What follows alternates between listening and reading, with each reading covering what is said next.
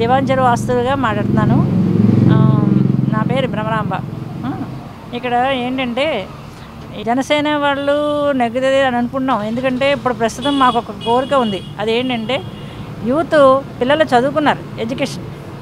వాళ్ళు చదువుకున్న వాళ్ళకి ఒక వ్యాపారం కానీ ఒక ఏదైనా ఒక సంస్థ కానీ పెట్టి ఏం చేయలేదు ఇక్కడ వైసీపీ వాళ్ళు.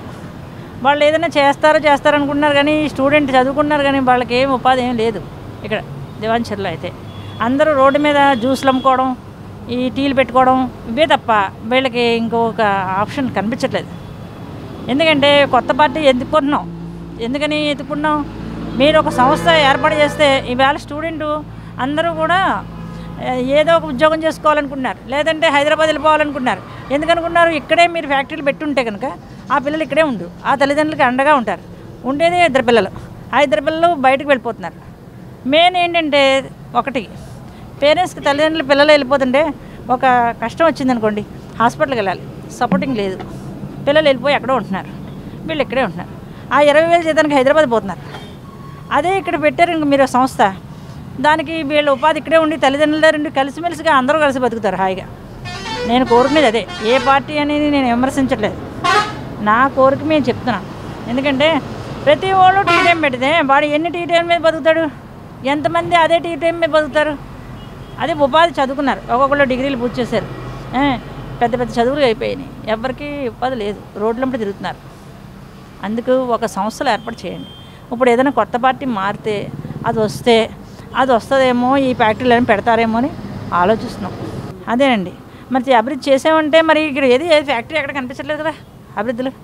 ఇప్పుడు ఏదో మీరు పథకాలు ఇచ్చేశారు. ఆ పథకాలే అవి కాదని అనట్లేదు. ఇచ్చిన పథకాలని కొంతవరకు సద్వినియోగం అయినాయి. మిగతా సద్వినియోగం అవ్వలేదు. ఏమండి? ఇక ఎవరిది ఎవరిని విమర్శించాలని మేము సరిపోం. ఎందుకంటే మేము ఒక ప్రజల్లో ఉన్నాం కాబట్టి విమర్శిస్తే ఈవేళ మాటకి మాట సమాధానాలు వస్తాయి. ఇప్పుడు అడగవలసింది అడుగుతాను నేను. నాకు కావాల్సింది ఇక్కడ ఈ లోకల్లో ఏదో ఒక ఫ్యాక్టరీ పెట్టాలి. ఏమండి? బోళ్ళు అడవులు ఉన్నాయి. ఈ పక్క ఫారెస్ట్ ఆ పక్క ఫారెస్ట్. ఈ ఫారెస్ట్లో చక్కగా రెండు సంస్థలు ఏర్పాటు చేస్తే ఒక పదిహేను మంది పదిహేను వేల మంది హ్యాపీగా బతుకుతారు. బోల్డ్ మంది స్టూడెంట్ అండి. చదువుకుని రోడ్ల తిరుగుతున్నారు ఇవాళ. పేరెంట్స్ మేము చదివించేసాం కదరా. నీకు ఇంక మేము ఎక్కడ తేమరా? డబ్బులు ఎక్కడ తేము? అని తల్లిదండ్రులు చాలా ఆవేదన పొందుతున్నారు ఈరోజు. వాడు వెళ్ళిపోయి సంపాదించమంటే ఏం పని సంపాదించాడు? నాలుగు టీలు పెట్టి ఎన్ని ఎంత రోజుకి ఎంత వస్తుంది ఆడు కాదా ఎలా అని ఇంత ఇంత చదువుకున్నవాడు రోడ్డు మీదకి వెళ్ళలేడు.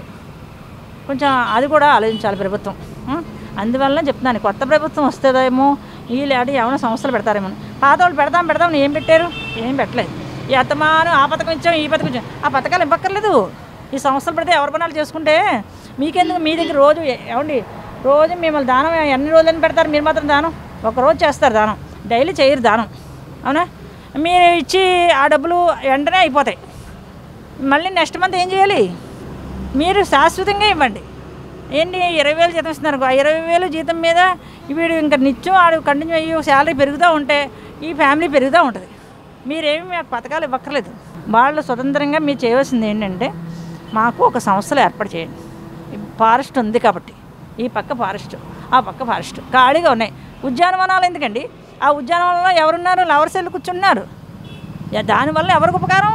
ఇప్పుడు వెళ్ళి తల్లి ఒక తల్లిదండ్రులు వెళ్ళి కూర్చుని ఖాళీ లేదు. ఖాళీగా ఉండి పిల్లలు వెళ్ళి కూర్చుంటున్నారు అక్కడ. ఈ చదువుకునే పిల్లలందరూ సన్నాసులు అయిపోయి అక్కడ కూర్చుంటున్నారు. ఇంత చెప్పేది ఏం కాదు. అది ఉన్నాయి కాబట్టి మాకు స్థలం ఏది? స్థలం చూపించండి అంటున్నారు. స్థలం చూపించక్కర్లేదు. పక్కనే ఉన్నాయి మనకి. ఈ పక్క ఫారెస్ట్ ఉంది. ఈ పక్క ఫారెస్ట్ ఉంది. రాజానగరం. రెండు ఫారెస్ట్లు ఉన్నాయి. మీరు ఏమి ఉపయోగించట్లేదు. అత్తమానం మేము ఆ పథకం ఇచ్చాం ఈ పథకం ఇచ్చాం బల్ల గుద్దేసుకుని నీవు దెబ్బలాడుకోవడం నేను దెబ్బలాడుకోవడం ఇవే చేస్తున్నారు. అంతేగాని ఒక ప్రజలకు ఏం చేసామంటే నేను అప్పుడే ఇచ్చాను నీ అట్టిట్టాను ఇది ఇది పెట్టానంటున్నారు ఏం పెట్టక్కర్లేదు మీరు. మీరు ఉపాధి ఇవ్వండి. అది నేను చెప్పాల్సింది అంతే. నేనేం తప్పుగా అనట్లేదు మీరు అందరూ పెద్దలు. అది నాకు తెలిసింది నేను చెప్తాను. ఎందుకంటే మాకు కూడా ఇద్దరు అబ్బాయిలు నాకు నా పిల్లలు కూడా ఇంజనీరింగ్ అయింది. ఒక అబ్బాయి ఇంటర్ చదివాడు. రేపటి ఇదే పరిస్థితి. నన్ను వదిలేసి వెళ్ళిపోతే హైదరాబాద్? నేను ఏమైపోవాలి? ఈయన చనిపోయారు. అది ఆలోచించండి. తల్లిదండ్రులకి పిల్లలు తోడుగా ఉండేలాగా ఒక ఉమ్మడి ఫ్యామిలీలా బతికేలాగా చేయండి. మీరు వేరే ఊరే వెళ్ళి సంపాదించుకుని తెచ్చుకుని ఇక్కడ వెళ్ళాడు ఆడు దోకొచ్చిన సరిపోతాయి. పండగ వచ్చాడంటే ఒక రోజు వస్తాడు ఈ వెళ్ళేటప్పుడు వచ్చేటప్పుడు సరిపోతాయి ఈ తల్లిది అమ్మాయి ఎప్పుడు వెళ్ళిపోతున్నాం ఈ పిల్లకి ముసలోళ్ళు ఏడుస్తారు పెద్దోళ్ళు. బాగాలేదు పరిస్థితి. నేను చెప్పేది అంతే.